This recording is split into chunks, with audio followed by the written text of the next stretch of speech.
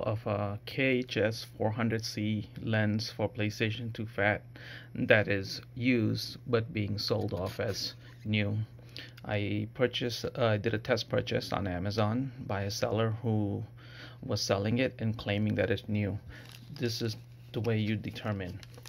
All of the lens have a anti-static solder point.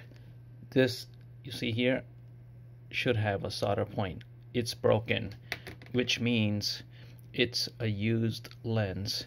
If the seller claims that, oh, we removed it and we tested it before shipping, no, on an industrial level, they cannot have, I mean, well, most of the sellers these days do not have the capacity. And if it was brand new, you would see a solder point, a solder here that is not here.